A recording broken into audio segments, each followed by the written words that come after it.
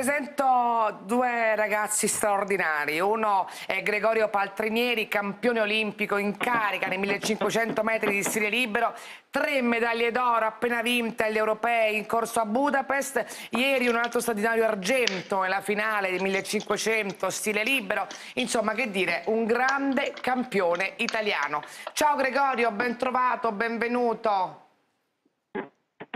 Grazie, buongiorno a voi. Ti fa arrabbiare che la, la piscina è chiusa? Ma guarda, fa arrabbiare, io penso, io penso soprattutto alle, alle, giovani generazioni, insomma, io ho sempre parlato di questo sogno che ho seguito da piccolo e non era il sogno di diventare campione olimpico, era il sogno di, di stare insieme ai miei amici e di fare quello che volevo fare.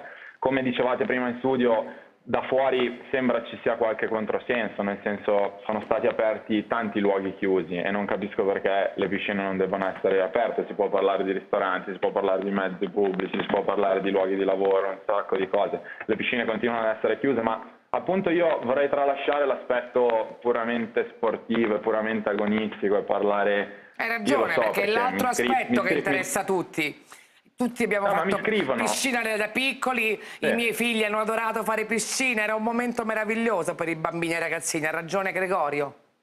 A me, a me scrivono, scrivono, un sacco di persone e vedo comunque stando nell'ambiente tanti giovani che sono, sono distrutti e questo e non so perché bisogna privarli di un futuro come, insomma, come il nostro, quello che abbiamo avuto. Secondo me lo sport insegna tantissimo, le piscine sicuramente sono luoghi chiusi, sicuramente c'è a fare attenzione, sicuramente possono essere presi altri provvedimenti, ma ci sono bambini che sono due anni che non fanno niente, il nuoto vabbè, è uno sport anche molto praticato, quindi sono sicuramente tanti bambini e, e, a me dispiace per loro perché non stanno vivendo quello che abbiamo vissuto allora, tutti. Fermati un attimo Gregorio, perché però. voglio